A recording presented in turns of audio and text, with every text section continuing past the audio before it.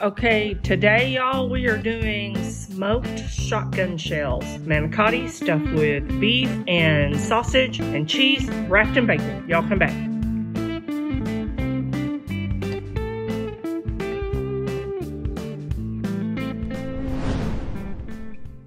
Hey y'all, I'm back. I know it's been a hot minute, but today we are going to do shotgun shells on the Pit Boss. I'm going back to the Pit Boss. Hadn't used that one in a while. I'm using a mixture of ground beef and just breakfast sausage, regular. Go a little lean on the ground beef, like I think this is a 93.7. And we're just gonna mix this up. I'm gonna add eight ounces of sharp cheddar cheese, just because it's what I had. Use whatever kind of cheese. I'm gonna use these Hatch chopped green chilies in half of it because I want to see what it tastes like without and what it tastes like with. And wrap it in regular bacon. So let's get this show on the road.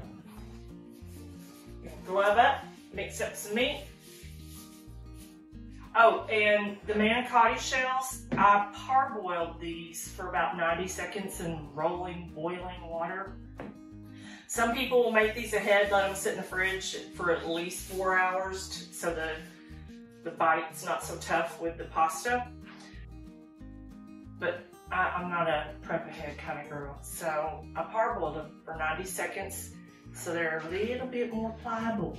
So you should be able to work with that. All right, so we're gonna mix this up. Let me get the thing off the cheese here.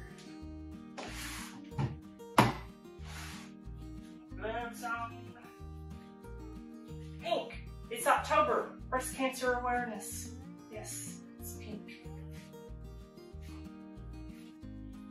And the wind is whipping outside North Texas today, y'all. It's been a windy, windy weekend here. Still really hasn't cooled down a whole lot. Looking forward to that. All right, so we're getting this in here. Let me get the cheese in. Whole bag, eight ounces. There we go. So now I can get in here with both hands. You're done.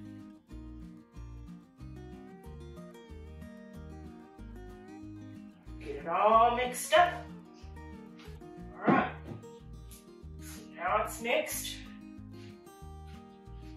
This is the first time I've ever done these, y'all, so we'll see.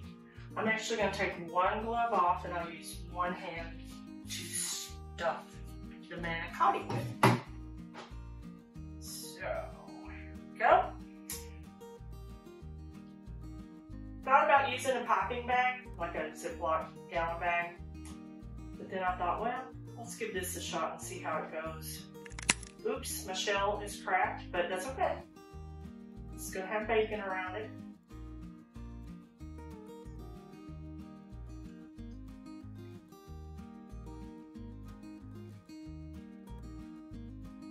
Down in the center there.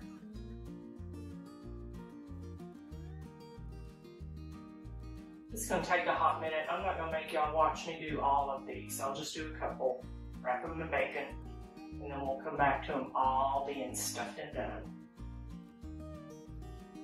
Okay. Bacon. So, from everything I've seen, it should only take one piece of bacon to wrap this.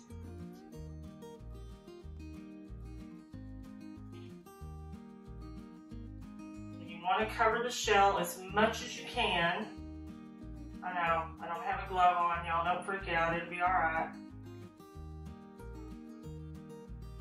And the bacon, may have to work with this one, but there's one. Okay, y'all, we're back. We've got all of these stuffed and wrapped. These have the green chilies in them. So now I am going to dust these with some Kosmo's Honey Killer Bee. I really like this stuff. I, use it a lot. And then after the cook, about these are only going to go for about an hour at 300 degrees. Um, about 10 minutes before, I am going to rub, put some of this smoky brown sugar from Stubb's on it. All right, so here we go. We're gonna dust them up.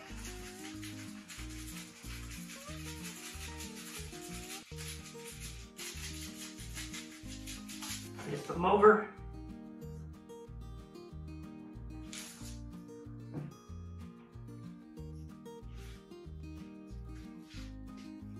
So I'm using 14, a box of manicotti came with 14 shells in it, two pounds of meat. I'm gonna say that probably only you need a pound. We had some left over that we're doing a little experiment with.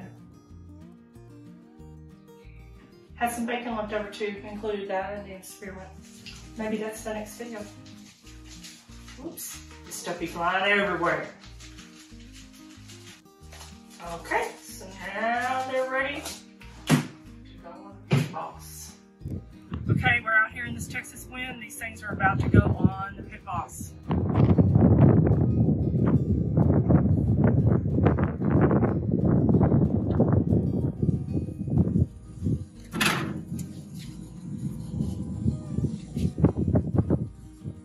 One hour, and then we'll brush them with sauce.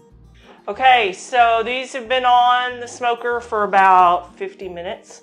So I took them off. We're gonna baste them up with this Stubb's smoky brown sugar.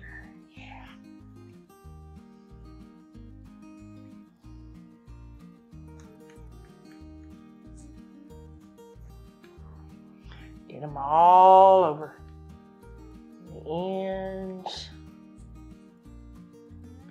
Definitely, I recommend using the thinner cut bacon, the regular bacon, because the thick cut bacon is just not going to crisp up the way you would want it to on something like this. I've done like bacon wrap dates using both, and the thicker bacon just it doesn't work out really well.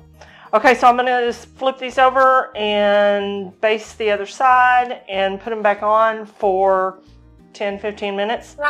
So, y'all come on back. So, they're done. They're done.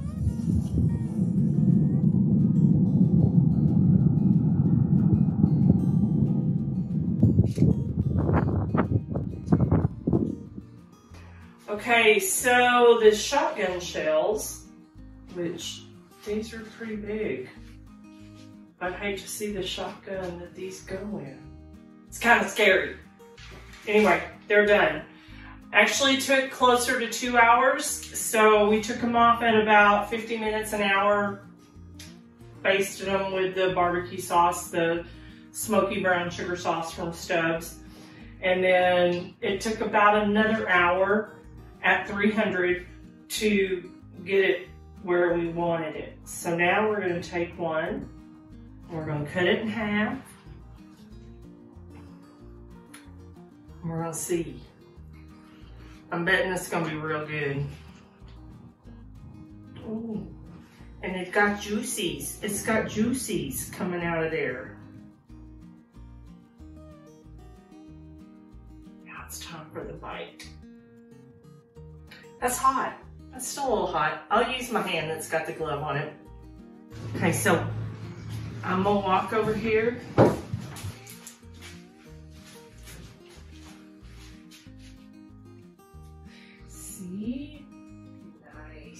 Okay, now we're gonna go back around. Take a bite.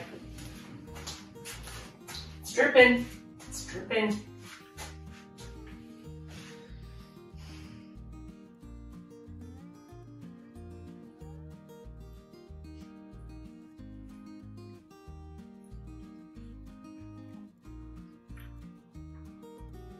Mhm.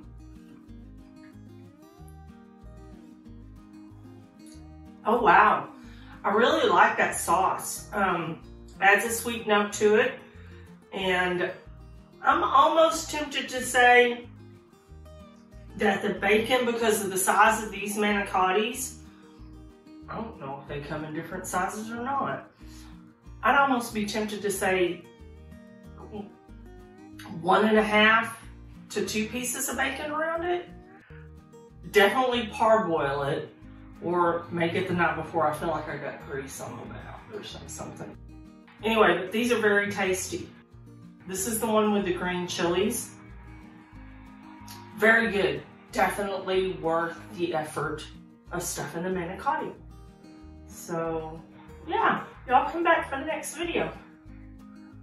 Thank you for watching. Please remember to subscribe, like, share, and comment. We want to hear from you. See the description below for details and helpful links to what we covered today. Hit that notification bell so you are alerted when we publish new videos. Check out our website at motherofsmoke.com for the latest things we are working on. Have a blessed day and keep smoking.